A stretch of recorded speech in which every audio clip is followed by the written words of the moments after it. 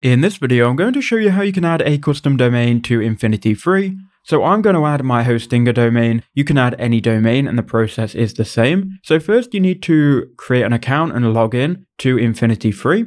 So here you can see I'm inside of Infinity Free here. You then want to go to accounts, then create account. Now from here, you can choose the free hosting plan and you can go ahead and type custom domain or click custom domain. And what you can do is you can enter in your domain name here. Now you will need to create a new account to do this. You can't add a custom domain to an existing website, I do believe, not without the premium version anyway. So we're going to add our domain to this website and create a new one. So I'm going to go to Hostinger and then domains. Again, you can connect any custom domain. Then find a domain, click manage. And what you want to do is you want to go into the back end of your domain settings and from here, you can go ahead and change the name servers. So first, go ahead and find your domain, copy it, and just simply paste it into the domain name section and then check availability. Once you've done that, go ahead and create your account. You can edit any of these fields here if you want to.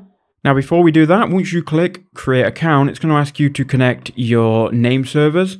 So go ahead and copy the first name server, which is ns1.infinityfree.com. So make sure you copy all of this here. Once you've got this copied, you can go back into your domain and you want to go to your DNS slash name servers section on your domain name. This is going to be different for a lot of different providers, but you will be able to find it in your backend.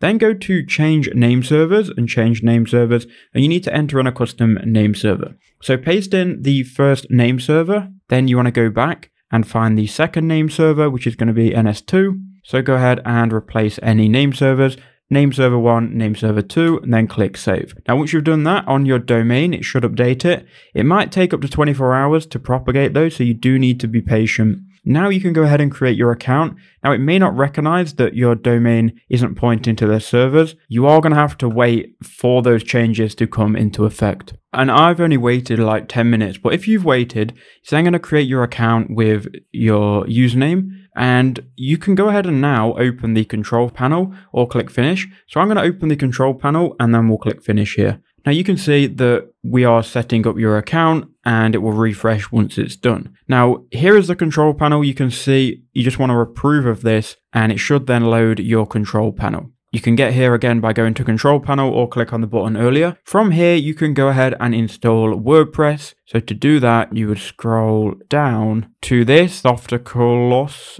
app installer. Then from here, once everything's loaded, you'll be able to install WordPress. Now, I've made another video showing you how to install WordPress, so I'm not going to cover that. But if you've connected your domain following these instructions, you've now essentially got everything up and running. You will have to wait up to 48 hours though for your domain changes to go into effect. Just wait for your account to get set up and then you can install WordPress. If you just check look your domain, so if I right click on this and go to my domain, you can see it does redirect to Infinity Free. Everything's loading. You just need to go ahead and be patient and wait for it to set up.